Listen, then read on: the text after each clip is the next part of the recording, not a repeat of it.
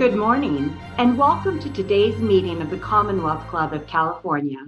I'm Dr. Karen Philbrick, and I'm the Executive Director of the Mineta Transportation Institute at San Jose State University and the chair for your program today. Today, we are very pleased to present the 11th annual Norman Y. Mineta Policy Summit, a partnership with the Commonwealth Club of California. In the Bay Area, the Commonwealth Club has suspended all in person programming and instead has adopted a virtual format. Please, you can learn more about these club offerings at their website, commonwealthclub.org. And please be sure to share and like today's program on Facebook, Twitter, and Instagram. Today's program is entitled Paying for Transportation in California. Does COVID 19 change everything? As we all know, the COVID 19 pandemic threatens every imp- excuse me, every aspect of transportation funding in California, and revenue from federal, state, and local taxes and fees are all at risk.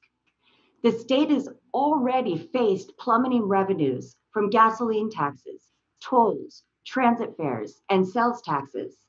So, our speakers today will address what to do next can we rely on our traditional mix of revenue sources? Or does this present an opportunity to stimulate innovation in transportation finance? Today's program consists of two parts. In the beginning, we welcome the Honorable David Kim, Secretary of the California State Transportation Agency, who will give the keynote, followed by a few questions. Then a distinguished panel will gather and they'll talk about opportunities for every level of government to help recover transportation revenues during our uncertain future. For a full bio of today's speakers, please see the virtual program. A link was transmitted to you today by the Commonwealth Club when the link for this program was sent.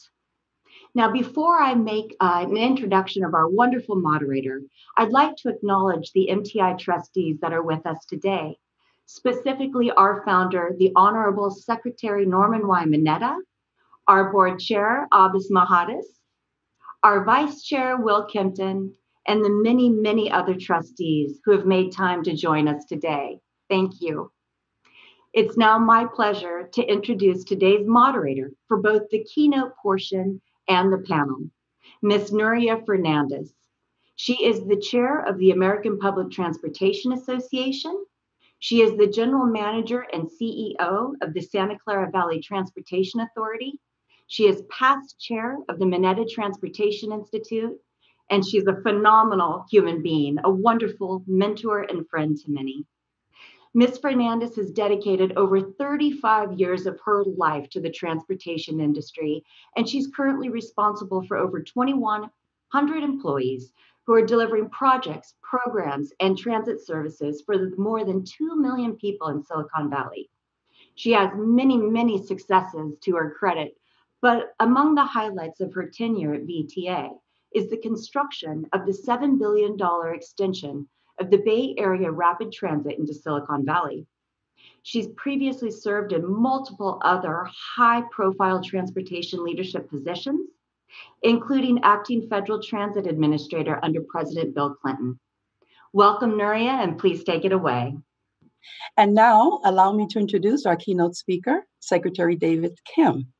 Uh, Secretary Kim was appointed by Governor Gavin Newsom in 2019. I believe he'll be reaching his first year anniversary this week or later next week.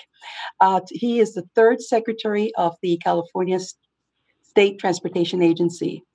His role, Secretary Kim, is responsible for oversight of 40,000 employees across eight departments, boards, and commissions, whose mission is to advance a safe, environmentally sustainable transportation system that maximizes mobility for all Californians. A longtime transportation leader, Secretary Kim uh, comes from the private sector as well as all three levels of government he has served as the Vice President of Government Affairs for Hyundai Motor Company from 2017 to 2019. He also spent nearly eight years in senior level roles at the U.S. Department of Transportation. Welcome, Secretary Kim. Well, thank you very much, Nuria, for the kind introduction and good morning, everybody. Greetings from Sacramento. Now, before I left DC to move to Sacramento to take on this role about a year ago, I promised Norm I would get to know the Mineta Transportation Institute at San Jose State University, and thankfully that has happened. I've had the great honor of interacting with Executive Director Karen Philbrick, and I've also gotten acquainted with several members of the faculty, including Professor Asha Weinstein Agrawal and Professor Leonard Lira, who invited me to speak to one of his classes not too long ago, another Zoom meeting, and it was really a lot of fun to interact with his uh, graduate level students. I'm also happy to tell you that my colleagues and I at CalSTA have made good use of the excellent research products and issue briefs, briefs produced by the Mineta Transportation Institute. And we're grateful for the Institute's outstanding research and education programs, which are really driving thoughtful change in a transportation arena that is evolving ever so rapidly. Also, a quick shout out to the Commonwealth Club of California for hosting today's event. They are a long-standing institution when it comes to providing an important forum for insightful conversations on local, state, national, and international issues of significance. So a big thanks to the Commonwealth Club for uh, their role with today's event. Well, all of us are here today to address an important and timely topic, the risks to transportation revenues throughout all levels of government brought on by the COVID-19 pandemic, and also to discuss opportunities to recover revenues through innovation in transportation finance. So to that end, I'm going to talk about three things. One, the current status of our state's transportation budget. Two, the federal stimulus and our current efforts on surface transportation reauthorization. And three, our opportunity in the midst of crisis for a transformative recovery. The question is, how can we best meet the current moment to provide for the transportation needs of Californians while also leveraging short-term momentum into long-term changes? But before I get into the specifics of our financial situation, I'd like to briefly highlight the challenges transit agencies, agencies have been facing and the work we've been doing alongside them since the start of the pandemic.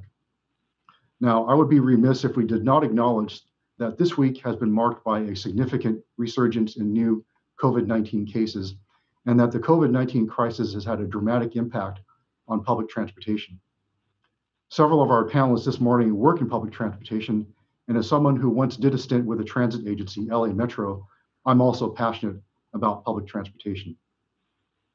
Clearly, these are tough times for public transportation here in California and everywhere else in the world.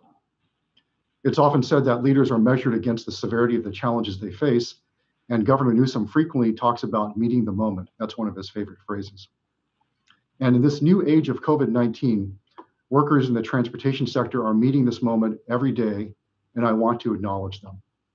Transit workers, in particular, have been at the forefront of our tragic and heroic national narrative. We've all seen Detroit bus driver Jason Hargrove's Facebook Live video, decrying a passenger who wouldn't cover a cough and then warning all of us to take the virus seriously. Jason posted the video in late March and then tragically died a few weeks later from COVID 19. We've also read about the tragedies in New York City where more than 130 MTA workers died from the virus. And there have been several thoughtful articles about the future of transportation because many people are passionate about this topic. We all know that transit agencies are facing financial distress as their revenue sources, sales taxes, payroll taxes, and fares are impacted by the pandemic. We've seen transit ridership decline by staggering levels, and transit agencies have experienced or are experiencing staffing shortages as workers become ill or caring for someone who is ill or taking leave for fear or be, of becoming ill. But while a lot of things are changing quickly for public transportation, their critical role and fundamental importance in our communities will not change. Transit is an essential service that, especially at this time, serves employees who've also been deemed essential. Now, those of us who don't have to commute to work during this emergency because we're teleworking should realize that we're relying on those who do to staff our grocery stores, provide health care, maintain basic city services, and keep the supply chain moving.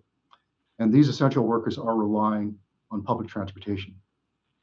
And so if you think about it this way, everyone is relying on transit to keep our economy and our society moving. So as we work through this crisis together, Government leaders and policymakers need to realize that transit isn't a business. Transit agencies don't exist to make profits, they exist to provide essential services. Soon after the state of emergency was declared by the governor, CalSTA convened standing conference calls with our industry partners to find out firsthand how the virus was affecting transit, transit and transportation operations throughout the state. Our highest priority was keeping the supply chain open and keeping essential goods and workers moving. And as a result of these discussions, CalSTA and our departments have worked hand in hand with transit stakeholders to take swift action in response to COVID 19.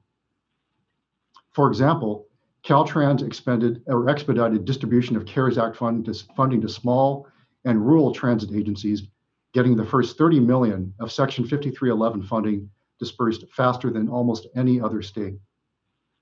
Also, the DMV extended motor carrier permits expiring in March, April, and May through June 30th. Expiring commercial driver's licenses are valid through September 30th, which is consistent with federal emergency action. We also worked with the governor's office to develop executive orders to provide a waiver for expiring medical certificates required for commercial driver's licenses. Additionally, our agency helped write guidance for transit and rail operators. It's a set of best practices when it comes to physical distancing and hand washing, use of face coverings by employees and passengers alike, cleaning and disinfecting vehicles, and so forth. And just this past April, my agency awarded 500 million in transit and intercity rail capital program grants to 17 recipients, including quite a few here in the Bay Area. These grants will leverage more than 4.9 billion in additional investment.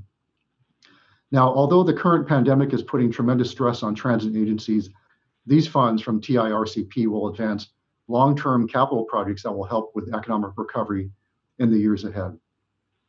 We also worked closely with the California Transit Association and CalACT to distribute 60,000 face masks to transit operators around the state. And let me say this on partnerships. While transit is facing extreme challenges tied to COVID 19, I personally seek tremendous cooperation and coordination in the industry at both a statewide and regional level. And a great example is right here in the Bay Area. The Metropolitan Transportation Commission recently convened a Blue Ribbon, Blue Ribbon Task Force that I'm honored to serve on with civic leaders and elected officials like Senator Jim Beall, Assemblymember David Chiu, Therese McMillan, head of MTC, and Commissioner Carl Guardino of the California Transportation Commission, among many others. The region is asking a very important question. How do we rebuild and reimagine transit as we begin to restore service to meet the needs of future riders? This is a critically important initiative, and I look forward to contributing to and learning from the task force as we explore solutions to enhance the future of, tra- of transit. Now, let's turn to the status of transportation funding. California faces a multi-year effort to address the current 54.3 billion state budget deficit. Thankfully, we entered this crisis from a strong economic position, particularly for transportation funding. While all budgets will be impacted by this crisis, the transportation budget remains about the same as in January. SB 1 funds continue to be collected, and while they're down, the projection is that 5.5 billion will be generated in the budget year. And on the stability of transportation funding, let me be clear, no SB 1 or Article 19 revenues are being used to address the general fund shortfall. In addition to the substantial drop in general fund revenues, the forecast for fuel tax revenues, which is slightly different from SB 1, has dropped by 578 million in the current year and by another 670 million in the budget year. And so Altogether, fuel tax revenues are expected to drop by a total of 1.8 billion over the next five years. I think we can all agree all agree that SB1, when it passed in 2017, achieved what was once a pipe dream, a stable source of transportation funding in California. And transportation investment is clearly expected to be an important source of jobs as we recover. In the immediate term, Caltrans has, has accelerated projects, which in turn has created new jobs and also improved the condition of our state highway system. We also intend to maintain current staffing levels for engineering and planning positions so that we can continue developing and designing previously programmed projects. And this is going to help maintain our state of readiness when federal stimulus funds become available. And here's some good news. As a state, we're in a stronger position than some to continue our progress. We currently have cash balances within, within the state highway account, more than 2.2 billion, the public transportation account, 1.4 billion, and the road maintenance and rehabilitation account, more than 2.1 billion at the end of the third quarter. In fact, through the third fiscal quarter, state highway account revenues were coming in 3% above forecast, and road maintenance and rehabilitation account revenues were 4% above forecast. But having said that, the road to recovery is going to be long, and to be honest, won't be easy. We're going to need to draw from some of the lessons learned from the Great Recession. And we have to begin thinking of creative ways to address the needs of California's transportation system and revenue sources moving forward. And just like the Great Recession of 10 years ago, the federal government will play a significant role in helping states recover from the effects of COVID 19. Federal stimulus funds will be critical to continue capital projects, create new jobs, and begin a road to economic recovery. The HEROES Act, which passed the House in May, provides 15 billion to state DOTs to mitigate the effects of the pandemic. California's share of this funding would be almost 1.4 billion. We're also supporting the request by AASHTO to re- increase HEROES Act funding for state DOTs to 50 billion, which would provide California almost 4.7 billion. And although projections on the reduction of gas tax revenue are thankfully not as dire as they've been in the past, we're not shying away from our duty in being forward thinking and deliberate about the longer term future of transportation funding in California. Meeting California's aggressive environmental targets in large part depend on all of us transitioning from internal combustion engines to electrified powertrains. But as we all know, tax revenue for road maintenance and repairs are dependent on gas taxes. And as fuel efficiency increases and alternative fuel vehicles become the norm, transportation funding will face a deficit.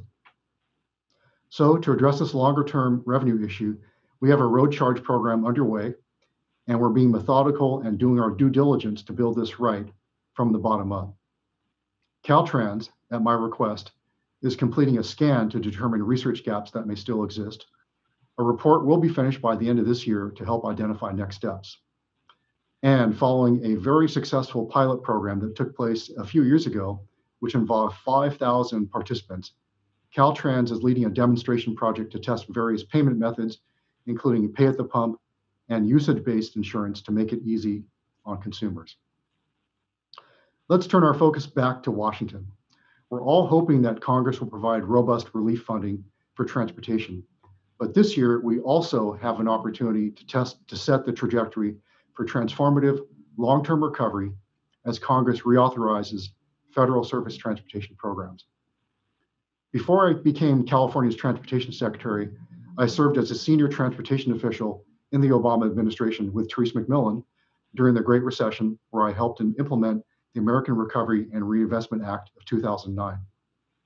The Recovery Act moved America from recession to transformative recovery through infrastructure investment, and it really demonstrated how crisis can be a catalyst for positive change. In addition to increased federal funding for transportation, we need the right policies to make sure we're not just not just bouncing back, but bouncing forward into economic recovery. Next week, the House will be voting on the Invest in America Act, which authorizes 494 billion over 5 years to make transformative investments in surface and rail transportation. CalSTA is supporting the investment in the Invest in America Act not only because it increases funding for California, but also because it gets the policy right on greenhouse gas emissions, on social equity, and in many other areas. In the next five years, the Invest in America Act will provide California roughly 26.5 billion in federal aid highway program apportion funding. That's a 37% increase over the current surface transportation law, the FAST Act. The Invest in America Act is also substantially increases transit funding and is supported by the California Transit Association. And what I find really exciting is that the bill aligns well with many of our policy recommendations outlined in the California Federal Surface Transportation Reauthorization Principles, a document we put out last fall that was endorsed by over 30 industry associations and local and tribal government entities in California. For example, the Invest in America Act creates new funding programs to reduce greenhouse gas emissions, to deploy alternative fuel, fuel charging infrastructure, and make our infrastructure more resilient to climate change induced natural disasters. It also increases funding for intercity passenger rail projects and assistance to transit agencies procuring zero emission buses. So the House is off to a great start in advancing a brand new reauthorization bill, and we're thrilled to see it moving forward. At the same time, a new transportation law from Washington, D.C. is just one tool to start planning for transformative recovery. This crisis gives us an opportunity to pause and reflect on our current transportation system, break out of entrenched patterns, and potentially rebound and grow in a healthier, more sustainable direction. In my own view, the current pandemic makes abundantly, clear, perhaps more than ever, the importance of active transportation and advancing transportation options and infrastructure that promote greater health, sustainability, and equity. Despite the fact that our communities have been transitioning in and out of lockdown, this can still be a dynamic period for urban design and renewal. There have been uh, quite a few thoughtful articles describing how pandemics have reshaped cities throughout history. For example, 19th century cholera pandemics, which were attributed to noxious air, spurred cities to make more green space for people. And that's what led to the creation of wider, tree lined boulevards, recreation grounds, and lush public parks, including Central Park in New York City. So today we have an opportunity to reimagine our cities, redesign street grids, build wider sidewalks, and expand bike infrastructure, and potentially look at permanently converting certain streets to be car free. So, for example, cities like Oakland and Los Angeles have closed portions of their streets to cars, and that allows more room for pedestrians and cyclists to travel while practicing physical distancing. And to expand on this point, let me quote from a New York Times opinion piece that was published just this week entitled Take Back the Streets from the Automobile. Forward looking cities, large and small, have already jumped into action. In Medellin, the innovative Colombian city nestled in the Andes, workers are seizing traffic lanes and slapping down yellow paint to signify a change. Cars have been evicted and the lanes are now reserved for bicyclists. In Kampala, the capital of Uganda, authorities have closed streets, encouraged cycling, and sped the construction of new bike lanes and walkways. In European cities, quote, corona cycleways have become the new norm. And so that's an excerpt. I think it's also important to consider how communities with fewer multimodal options, especially those with a greater share of lower income, minority, and elderly populations, can take advantage of the benefits provided by active transportation, especially now. And so let me close with this. As a nation, we are currently responding to a global pandemic, an economic recession, and public outcry over institutionalized racism and police brutality. Yet, amid this uncertainty, I am bolstered by the belief that opportunities to make lasting societal improvements often become possible during challenging times. And rightfully so, events of the past few weeks have raised our collective consciousness around issues of systemic racism, injustice, and social equity, and the role all of us can play as leaders in the public and private sector in correcting injustices that have disproportionately impacted Black communities and people of color for far too long. A couple weeks ago, I released a statement on racial equity, justice, and inclusion in transportation. And one of the things we say in that statement is that the California State Transportation Agency strongly condemns systemic racism and discrimination in all forms, including those historically entrenched in transportation. And we also point out that transportation decisions of the past literally put up barriers, divided communities, and amplified racial inequalities, especially in our Black and Brown communities. I very much believe that the principles of racial equity, inclusion, and diversity are foundational to achieving our vision of a cleaner, safer, more accessible, and more connected transportation future for California. And so going forward, CalSTA and our departments will be part of the solution. We're going to promote policies and programs that, um, that reflect these principles. And we're going to work with stakeholders to identify areas of improvement. Transportation systems are about people. We are going to take steps to ensure that transportation systems are designed and delivered in a manner that will provide safe and equitable access to opportunity, especially for people of color and disadvantaged communities to truly enhance quality of life. Because in the end, for those of us who consider transportation to be our calling, that is what we're all about. That's why we're here. And so, with that, thank you so much for allowing me to join you today. And I wish you all the best for a productive and successful summit. Thank you.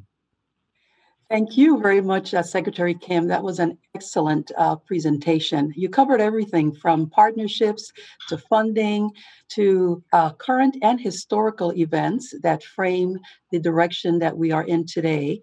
And then you also touched on the equity. So, I, um, if you could indulge me, uh, I think we have a few minutes uh, for a couple questions.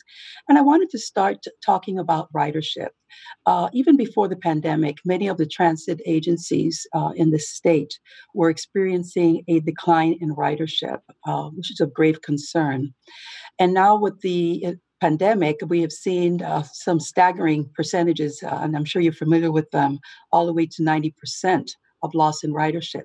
So, what is the state doing to help spur innovation that could potentially help us uh, increase ridership now so that we could have a better and stronger footing for the future? Thanks for the question, Nuria. Um, a couple things I'd like to say. Um, you're, you're, absolutely right. Before the pandemic, ridership um, had been struggling. And there was a survey done by USC, and I think it came out in January or February, and they surveyed Angelenos and wanted to know why they were avoiding transit. And again, keep in mind, this is before the pandemic um, the vast majority of respondents uh, indicated that they are avoiding transit because of concern over their own personal safety. Uh, what will the other passenger do, passenger do on the bus or, or light rail? Is that person going to lash out at me? Will they break out into a violent um, outburst? Um, and I think that's in reference to um, the fact that many individuals who take transit are, are homeless individuals, and and uh, uh those who were surveyed were concerned about um, how they would react and how they would behave on board. And so now we have the pandemic where ridership uh, plunged to record low levels. And um, I think it is incumbent upon all transit agencies to uh, to demonstrate to the public that uh, people can get on board uh, without compromising their health or safety.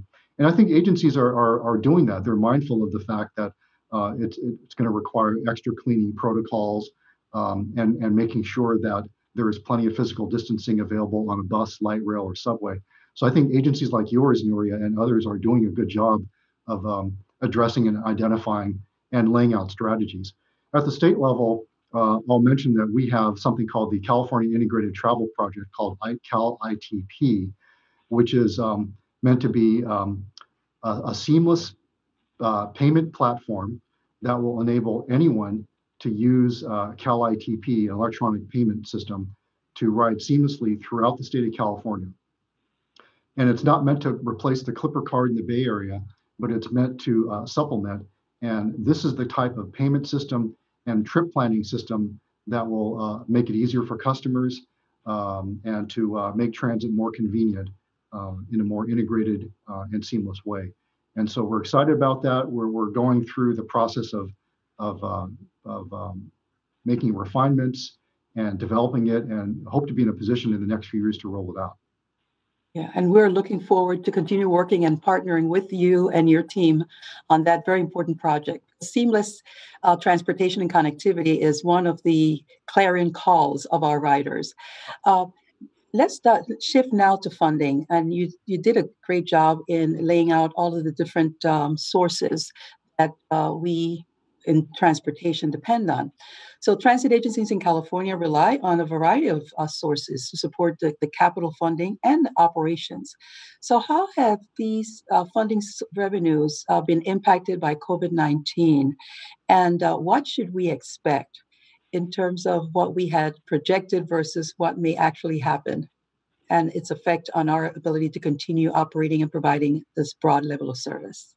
Yeah, that's a really important question. And um, as, as, you know, there are a number of transit agencies, not just in the Bay Area, but but other places around the country, that uh, rely heavily on on passenger fares to cover the vast majority of operating expenses. Systems like Caltrain, BART, and and then on the other hand, there are other systems that have a more diversified set of revenue sources. So everyone's in a different situation. Um, and so the, the challenge for all of us is to make sure that revenue sources, whether you rely on one or two or many more, um, can be stable. And that's going to be the challenge going forward. Um, as I mentioned in my remarks, we were fortunate to be in a position to, to award $500 million in TIRCP grants in April, uh, Transit and Intercity Rail Capital Program. And um, that's one of the, um, uh, the products of SB1. And we hope to be able to continue doing that going forward uh, because clearly um, capital investment will be a part of economic recovery uh, as we gradually uh, move forward. So I think that's a challenge. How do we stabilize uh, revenue sources? How do we identify new ones? Um, and then one thing we didn't talk about is the fact that um, many of you are self-help counties and sales tax revenues will also take a hit as long as we're in this recession.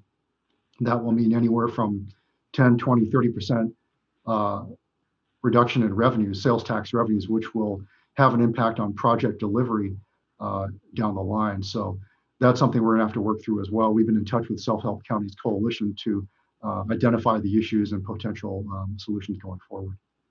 Yes, that, that's great. And thank you, uh, Secretary Kim.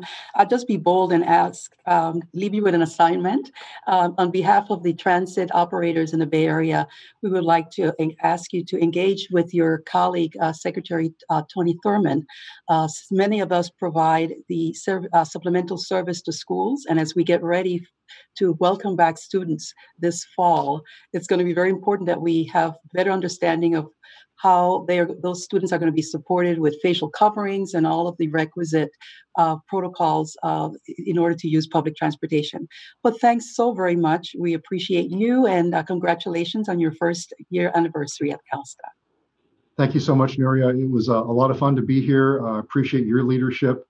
And uh, just a plug for Nuria, in case you, you don't know, Nuria was on a recent podcast. Um, this is uh, a podcast uh, done by Paul Comfort and uh, I think it may have been taped before the pandemic, but it was a great uh, way uh, for those of us to get to know your your career background, uh, your personal background. It was really really wonderful to hear you, Nuria. And so I would encourage everyone to to check out the podcast, hear all about Nuria's life story and her career story.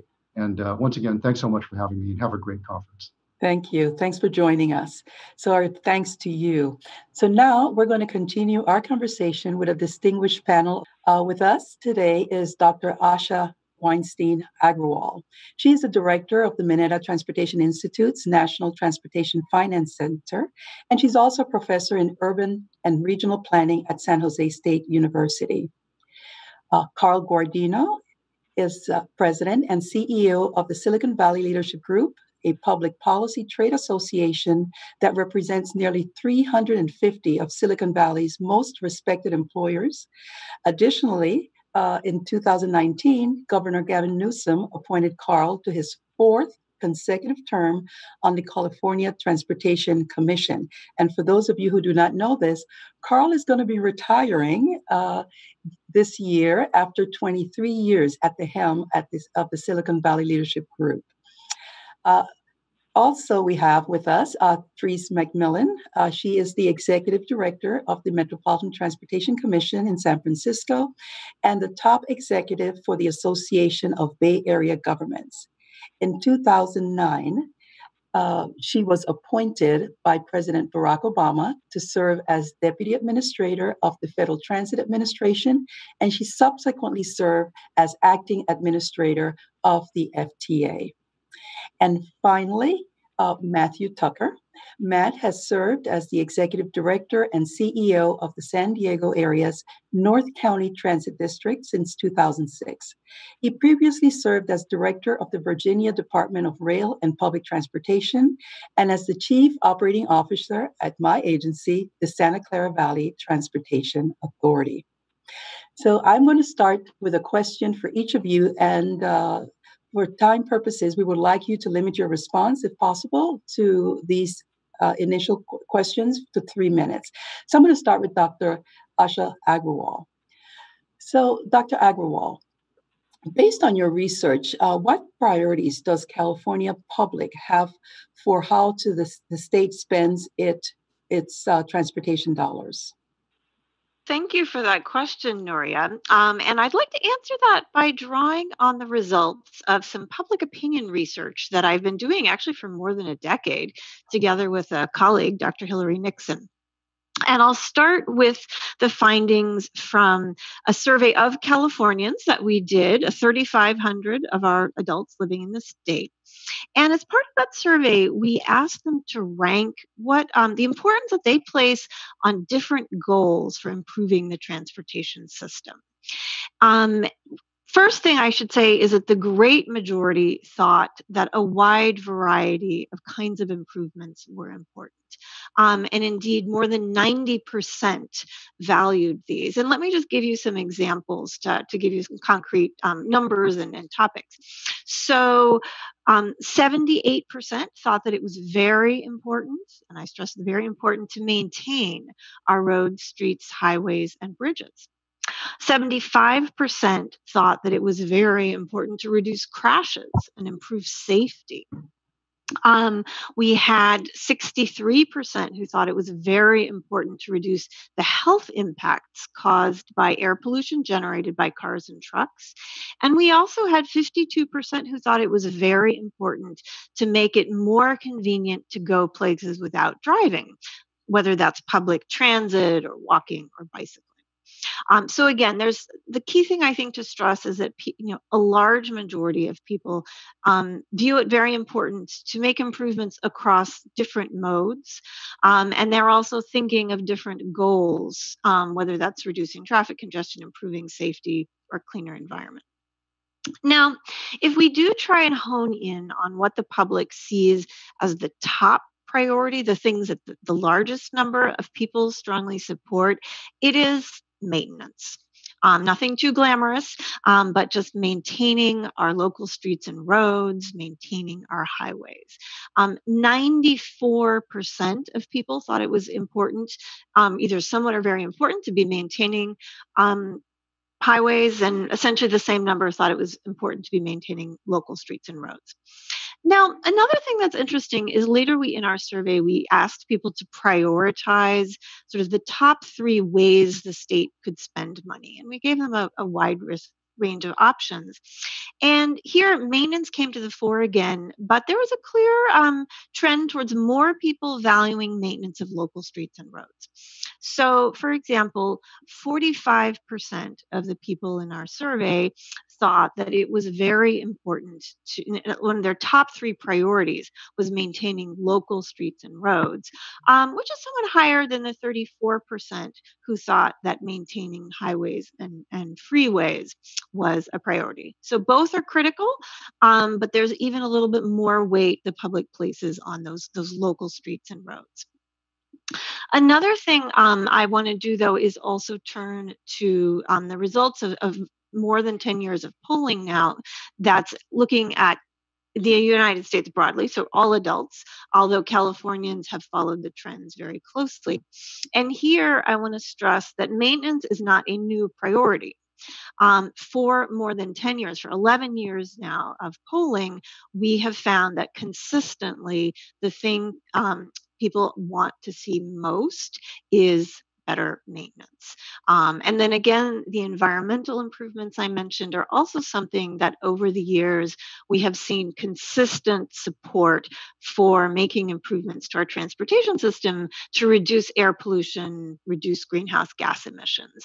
Um, and then finally, I'll say also there has been, again, over 10 years, um, supermajority support for public transit and indeed for spending gas tax revenues on public transit. So let me stop there. Okay, thank you very much, um, Asha. I, I, now want to direct my question to Carl Guardino. So, Carl, uh, for the coming decade, what role do you believe that the state of California should and will play in raising transportation revenues? And what will be the major changes uh, to current practice that you see? Well, whether we're talking about the state of California or whether we're talking about the innovation of Silicon Valley that permeates the Golden State, I think what we need to remember during such extraordinarily difficult times is a mantra that when the door is locked, we need to check the windows or build a new door. And when it comes to transportation funding at all levels of government throughout our communities and our country today, we should keep that in mind. So I'd like to mention a little bit about our current challenge and then our collective response. In terms of our current challenge, as a four term, 14 year member of the California Transportation Commission, we are in many ways stronger than we've ever been with the passage and implementation of Senate Bill 1, authored by Silicon Valley's Senator Jim Beall, that in the estimates would provide for 5.4 billion more in transportation funding each and every year. And by finally indexing the increases in our gas tax with inflation, not losing the strength of those funding sources over time. Well, when we think about both pre Senate Bill 1 funding and Senate Bill 1 funding, the challenge we're facing in a COVID environment is rather than the average of 1.3 billion gallons of gasoline purchased to draw that funding source, we are now at 800 million gallons of gasoline purchased. That's a 500 million gallon decrease and a decrease commensurate in funding sources. And that totals pre SB1 funds and SB1 funds a loss of $1.85 billion in funding. That's real money when we're talking about the real needs of hardworking Californians who expect and deserve the improvements to our transportation systems throughout the Golden State. And Nuria Fernandez, as you know so well from the work you do in Santa Clara County through the Valley Transportation Authority and the work that Therese McMillan does so capably in a nine county region, so much of our funding, especially for capital improvements in transportation funding, are through county wide implementation of primarily sales tax measures.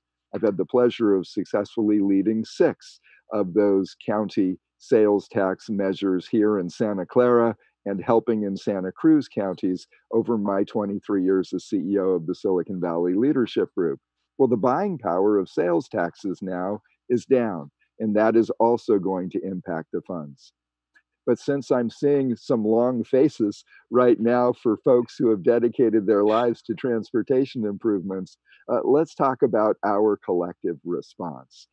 First, at the state level, as you know, the road charge legislation that was passed in 2014 by our state legislature led to our road charge pilot program while uh, one of the years that I was chair of the California Transportation Commission that we had uh, in 2016 and 2017.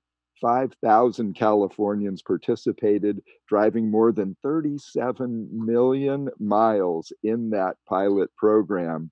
And it demonstrated through different mechanisms uh, that 81% of Californians think that road charges should continue to be researched as we make the switch from fuel taxes as our primary funding source for uh, much of our transportation improvements throughout our country to a, a more mileage based fee.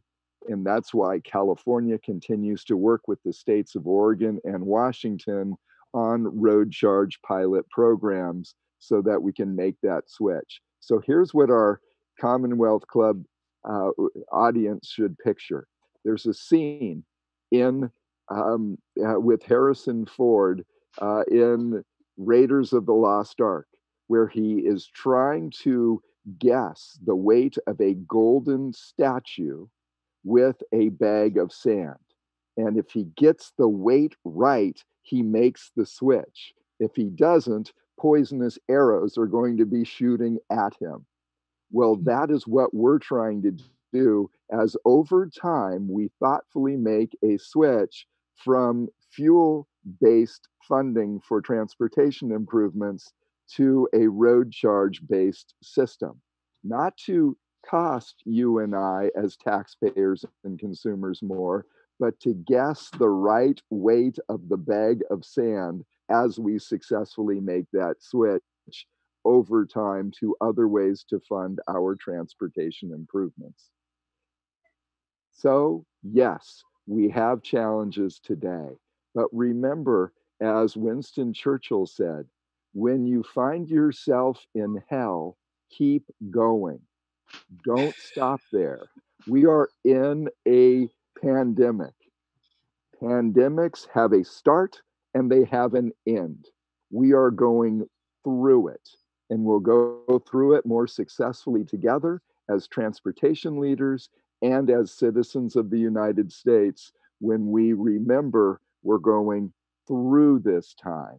We're not stopping camping out permanently in this time, and we are going to get through it. And as transportation professionals who know that we can be creative, we can come out stronger on the other side. Thank you very much, Carl. As always, you're very good with words and painting pictures, and we got it. we certainly got it. okay, so now I'm going to pivot over to um, Therese McMillan. You know, first we need to understand, I think, how the pandemic impacted transportation and especially public transit in unprecedented ways compared to other crises. It's far flung instead of localized in terms of geography, contrasting to floods or fire or even a terrorist attack. It was swift and sudden, but it was the result of deliberate policy generated decisions like the imposition of shelter in place compared to other economic downturns. The impact was and continues to be concentrated on operations, not on infrastructure, at least for now, which is very different from how other crises have been. And there's no clear idea of when it's done. As Carl points out, there will be an end. But pinning down the recovery triggers continue to shift, particularly as we unfortunately seeing the surge back again with with the uh, uh, with the virus. Um, so here's some perspectives on how those factors actually affect transportation revenues, but particularly I think how we're supposed to manage and use them. On the upside, we saw an infusion of emergency resources from the federal government, the CARES Act, uh, which is pretty typical in major disasters, the feds being able to step up for us. But the lack of boundaries to the pandemic makes the scale and effect of those emergency dollars really different. Because in the wake of a hurricane or a fire or some other natural disaster, there's a period of assessing the damage and scaling the emergency funding to address that damage. Now, it's not perfect, believe me, for any of us who've worked with FEMA and those, those circumstances in the past, but you at least kind of have a baseline, particularly when infrastructure is involved. But the damage in the face of the pandemic is, is a remarkable flip because what's been damaged is our operating environment um, you know, the questions now are how do you provide transportation as uh, public, you know, as transit providers um, to protect the public's health? We've not really had to look, how, you know, through that lens before. Um, winning back traveler confidence. When is it going to be safe enough to come back to public transit? How do we frame that? Um, do you cut back travel? Period we're seeing this major upswing in telecommuting, which is proving to be um, not just you know a, a, limited experience, but quite pervasive. Um, and is long distance travel outside of your private car ever going to be a good idea? I mean, I think that's one major question that's being asked. And our revenue sources are reacting directly to these public health uncertainties. As was pointed out earlier, transit fares, tolls, sales and use taxes, fuel taxes have all been, you know, um, reacting in, in, in very unstable ways. Um, an exception to that stability actually has been federal grants. That's been an interesting thing that we've seen. Um, we've seen the immediate revenue reductions. We're seeing some and expecting rebounds, I think, to varying degrees. But I'll stop here with the, the enduring lesson that I'm taking away from the pandemic, though, is that until the pandemic and the economy that's rebuilding around it really stabilizes, revenues are going to be uncertain, and the finan- and financial scenario planning is going to be essential. The last question in this segment uh, is going to go to Matt uh, Tucker, and it has to do with funding. So, Matt, when we all wished each other a happy new year earlier this year, we never anticipated the disruption. We did, certainly did not anticipate a pandemic, and one that has been with us for the past three months um, and will continue for a while. So, looking at public transit and the sources that uh, support our industry today, what, what are your thoughts in terms of what needs to happen or what should happen uh, with funding for public transportation and what type of changes we need to anticipate or make happen uh, with uh, the current practice that we all rely on on sales tax and fuel tax? Thank you, Nuria. You know, um, I probably will start um, with you know, kind of a look at transit before we got to 2000, before COVID 19. Um, I know for most uh, transit agencies, as we entered into the Great Recession period, um, we started experiencing a period of transit ridership growth. I know for a lot of transit agencies, our ridership peaked in 2015, and then ridership started to decline. Um, and you know, if you just look at that as a microcosm, I think we've spent a lot of time pre-COVID nineteen trying to figure out, you know, what was the cause of transit ridership declines.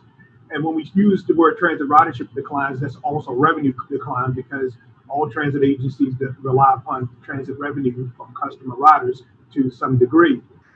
And I know for me and for my agency, we've spent an extensive amount of time taking a look at that survey that was done in Southern California, understanding some of the shifts some of the changes that have taken place in terms of the economy, that spatial mismatch that has widened between where people live and where jobs are located, while some people might have transitioned to their cars. And so we've been really focusing in on the perspective of how do we make our services more competitive? How do we know our market better? How can we grow ridership over time?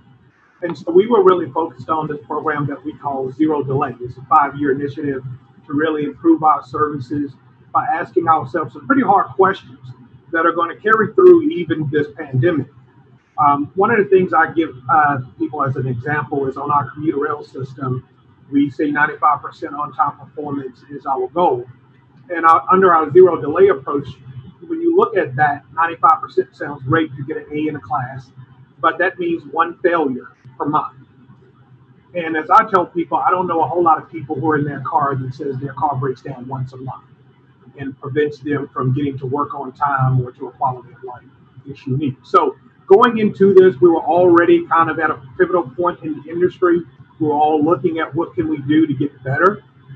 I know also for most of us, we also were looking at the tea leaves that we had been in a sustained period of economic growth and typically within the U.S., for about every 10 years, we end up with, unfortunately, a recession. And having worked in California in more than one stint, I know this can be boom or bust for California. So for my agency, we are soon coming into this fiscal year, fiscal year, the current fiscal year 20, um, that there was going to be a downturn economically. So we started putting aside funds and trying to squirrel away some money. But we never thought about COVID 19. So now we're going to move our discussion um, where I'm going to be directing questions specifically to panelists, but I'm going to encourage the rest of you uh, if you want to add to the responses or if you want to expand on some of the points that uh, the panelist is making, just raise your hand and I'll call on you. Let me just put out the obvious when it comes to the federal government because uh, I'm going to ask you to, to share with us based on your experience, having worked with the federal government, and of course in your leadership role at the MTC, is what you believe that the federal government should be doing um, in their role in raising transportation revenues. So I'll just let me just take off the most obvious one off the table, uh, and that is indexing the gas tax to inflation, which has not happened at the national level, but we were successful in doing it here in California. So, with that, Therese? A number of speakers, I think, have identified. Um, uh, Secretary Kim, I think, uh, did a very good job in highlighting the fact that DC is firing up for reauthorization, and so we're expecting to see um, some specific policies coming out of that. I can comment on, on some of the things you know we're looking for there. And Carl, I think, mentioned a really important continuing discussion at the federal level, which is will gas taxes at all remain the key source of what underwrites uh, revenues going to the you know the highway uh, trust fund um, and what does that look like in in a you know scenario where you know new technologies are coming into effect and whatnot so i think one thing the federal government does have to continue to do is look forward to how transportation itself is going to be changing. Um, the you know automated vehicles and all of those, and you've brought this up, Nuria, constantly in terms of your leadership role at APTA. We need to be thinking ahead to how the industry is going to change, because the revenue sources supporting that likely also have to change too. That said, if we're looking at the next decade. Uh, I think there's a, a, few things that are going to remain the same, but maybe with a few twists. Um, you know, just because COVID is top of mind, I do believe that the federal government will continue to have an extremely important role in terms of emergency episodic funding. Um, I think that they, they have the scale to do that, and I think that's really important. When I was at the FTA, you know, one of the things we did was actually bring forward an, a, a federal transit emergency program. And I, unfortunately, I think those types of safety nets are going to continue to have to be in place. And that's important. And again, kudos to Congress for stepping forward so swiftly with CARES.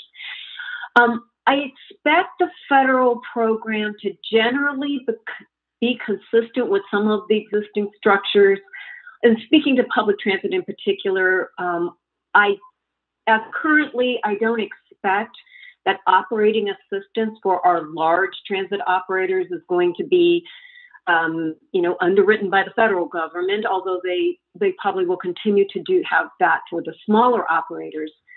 I expect major capital investments to continue, but I would say coming out of this that for the major expansions, I think there's going to be serious evaluations on assessing the ability of public transit agencies to recover and stabilize ridership. I think, particularly in the next five to 10 years, because we don't know how swiftly we'll be able to come back and reset. I think when we're looking at capital expansions, there's going to be a much keener eye to that as, as part of that evaluation. Um, I hopefully we should see, I would hope to see an increase in the flexibility of formula funding.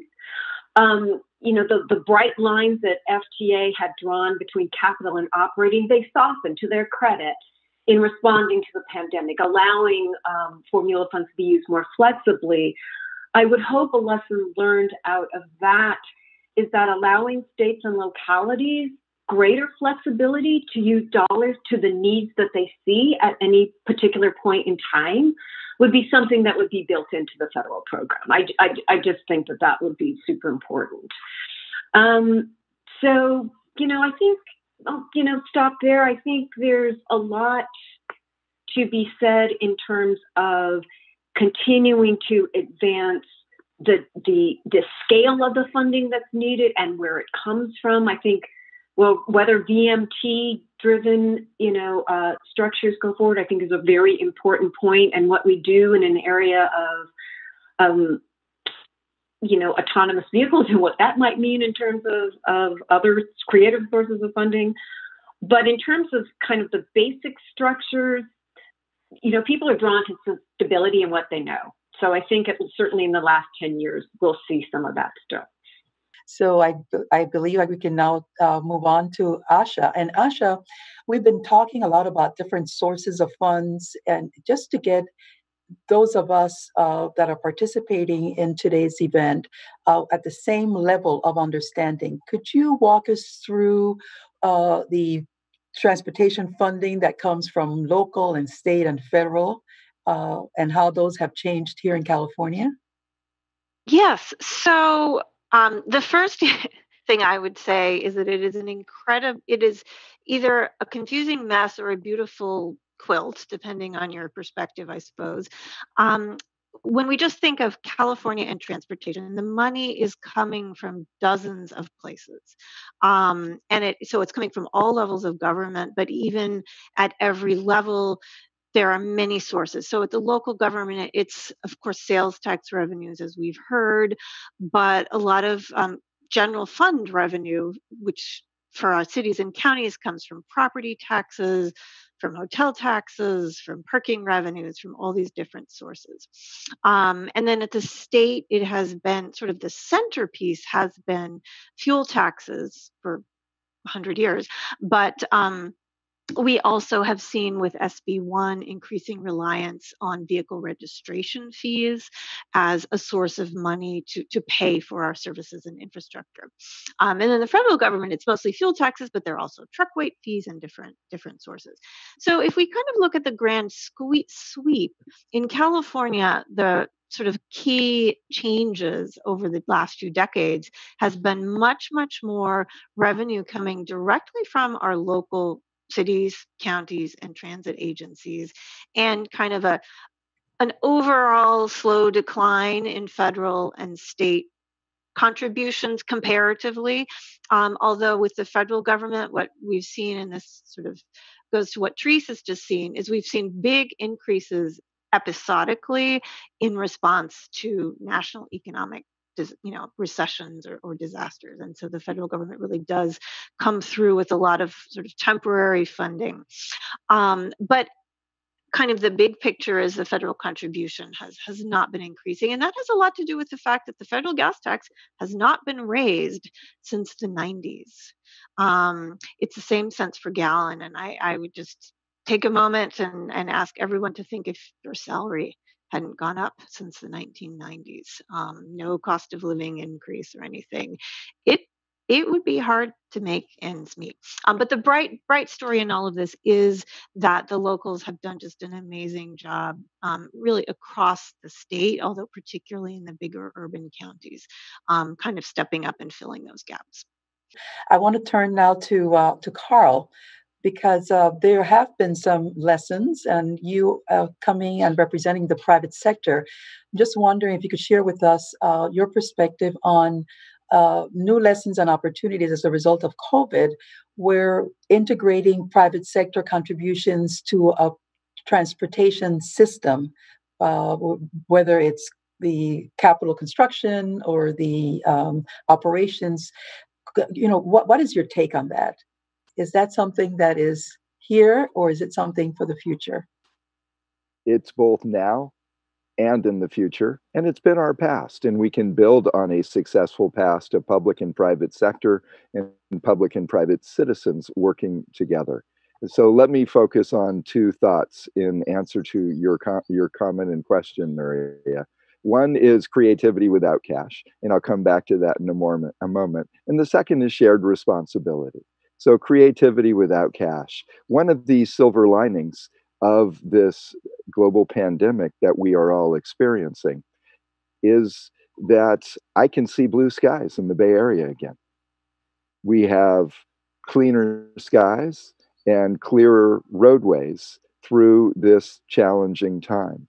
What have we learned and what can we do to continue to build on that during and post pandemic?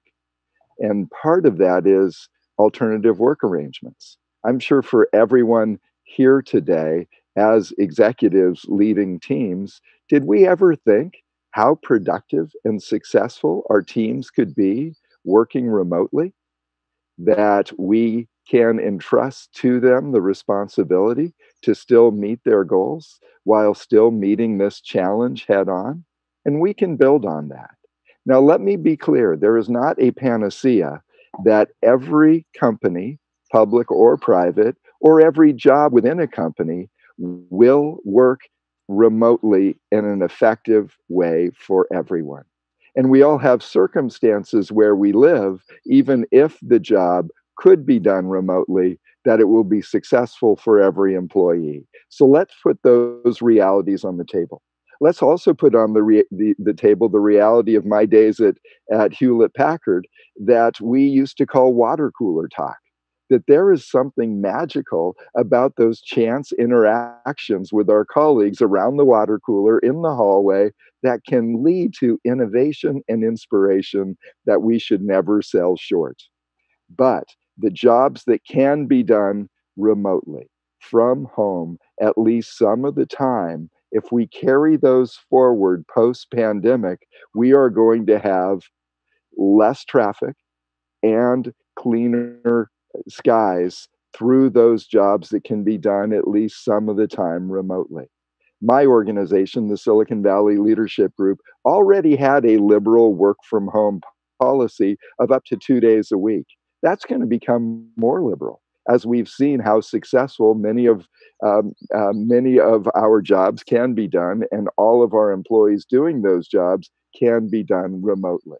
So let's not lose the magic of this moment to build a movement towards more remote work when it can be done successfully for the employer and and the employee that's creativity without cash the second part though is shared responsibility Therese will be able to correct me, and I hope she will if I'm wrong. But when we think of the employer shuttles in the Bay Area that many of our larger and mid sized employers have invested in, combined, they would be about the sixth or seventh largest bus transit system in Northern California.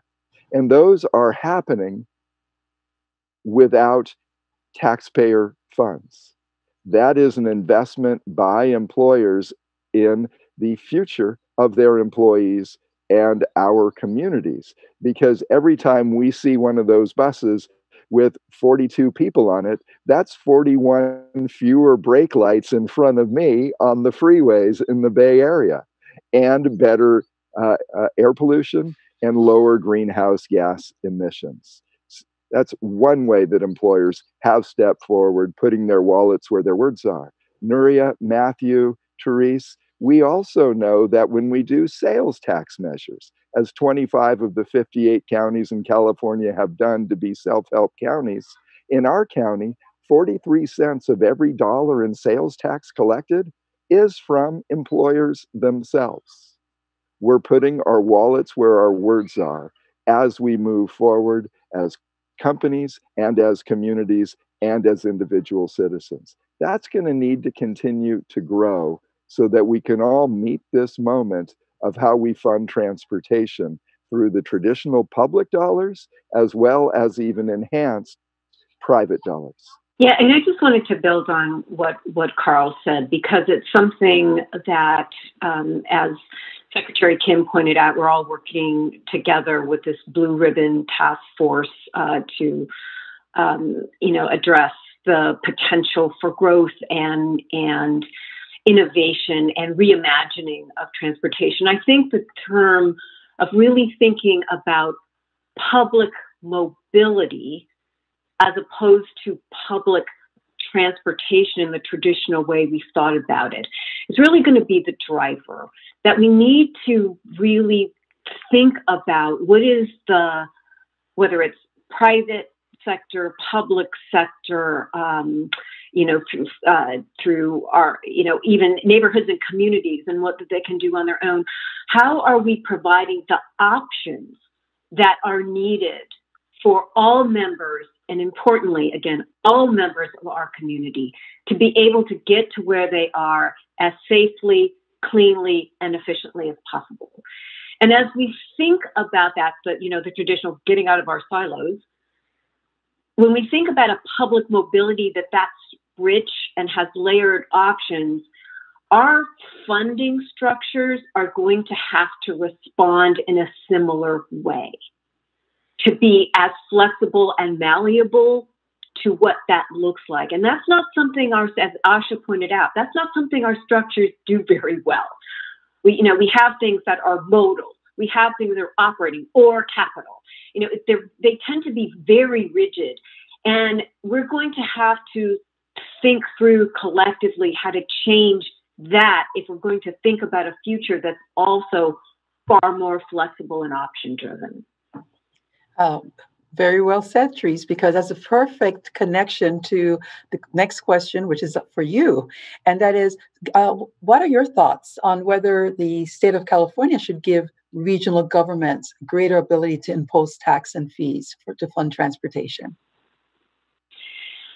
You know, that's a, it is, that is an interesting question um, because in many ways we're seeing it not just in transportation, but also in housing and a number of other issues that are that I think that the problems themselves are not bound within local boundaries, that just the nature of the need extends beyond political lines on a map that we've often drawn for ourselves. You know, the Bay Area has periodically sought the capacity to impose um, or pursue with the voters largely um, regional level authority in, in terms of fees. The bridge toll increases, you know, meet regional measure one, two, and three.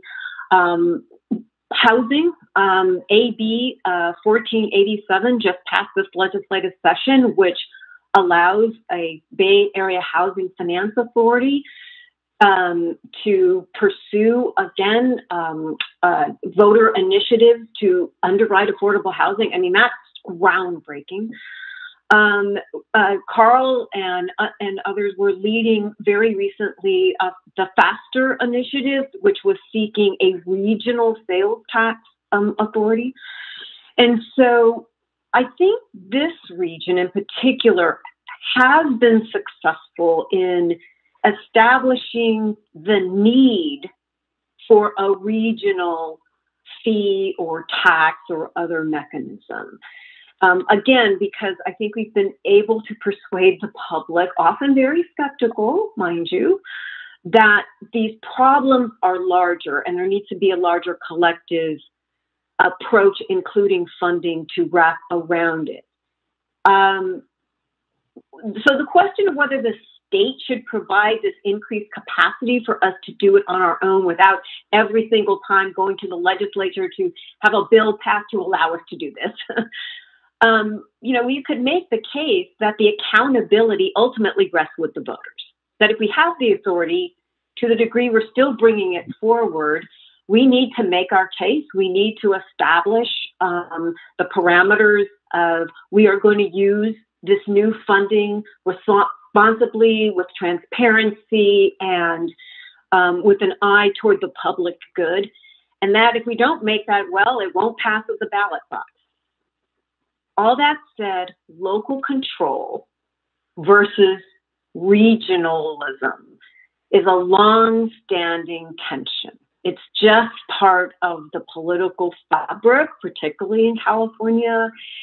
And, you know, I think it will factor into any discussions in Sacramento about, you know, fundamentally changing the, these authorities. I'm hopeful that we can continue to focus on solving the problem instead of protecting our traditional roles.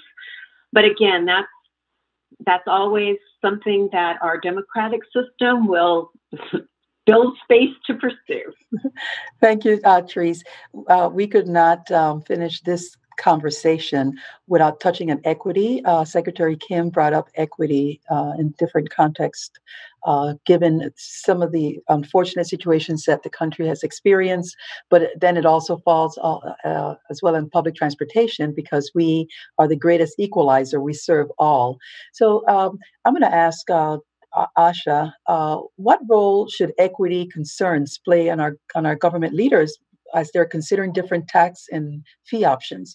And are some of these taxes or fees inherently more fair to others, to some a, than others?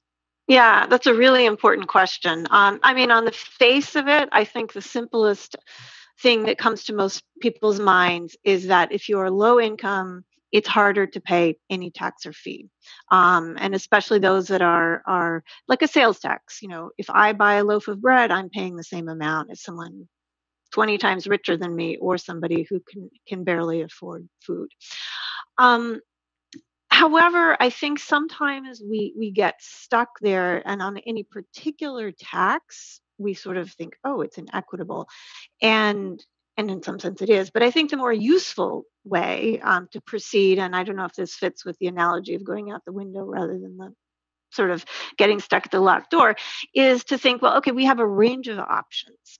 Which of these, from an equity perspective, would be better and which less good.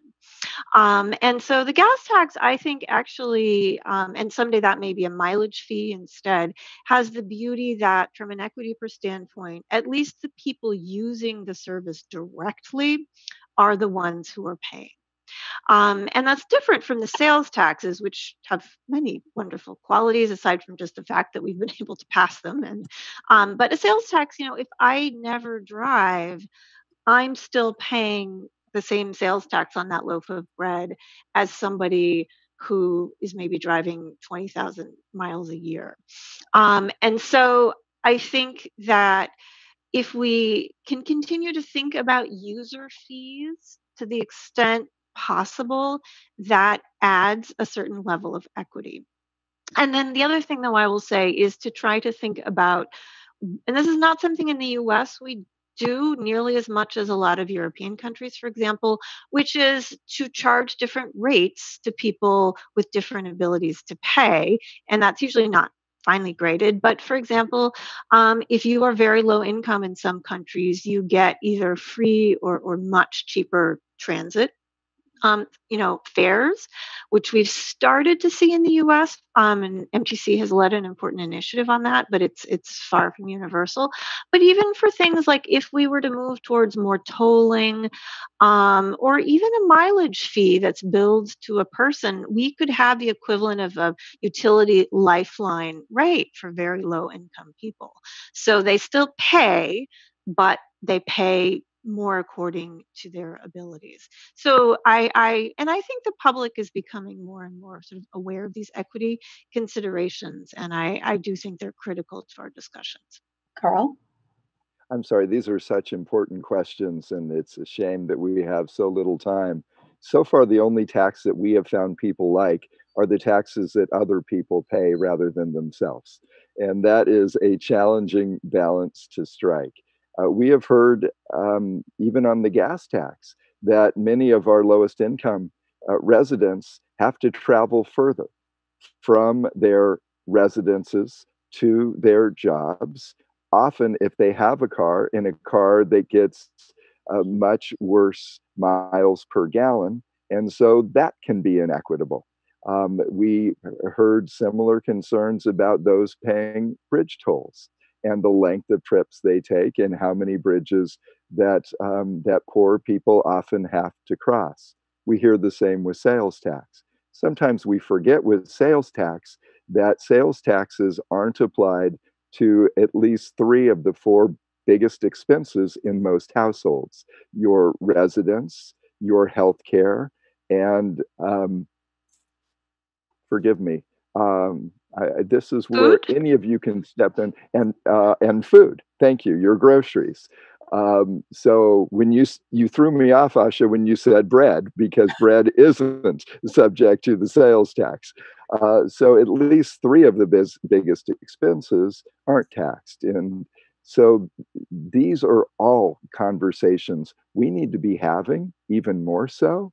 But the lens that I think Therese and MTC are looking at, that we were looking at through FASTER, have some common grounds relative to equity. First, what are the transportation improvements and systems that you are building and operating, and how do those help people who are in uh, lower income communities?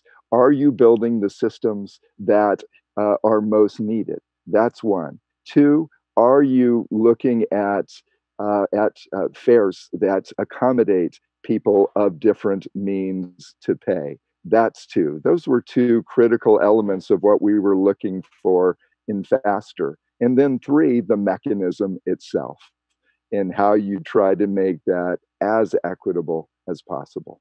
This is such a great conversation, and I know we could go on and on and on, uh, but um, we are at the point where we need to wrap up uh, today's panel.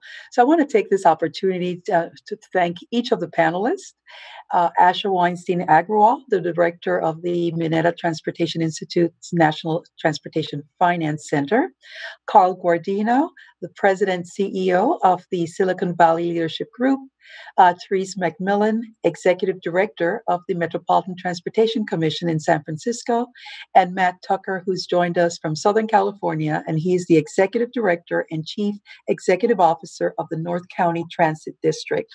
So thank also to today's keynote speaker, uh, David Kim, Secretary of the California State Transportation Agency.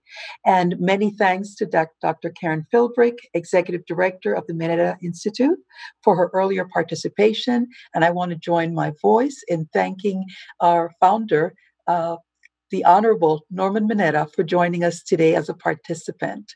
Uh, so, with that, I wish all of you a safe and healthy rest of the week. So thanks again and goodbye.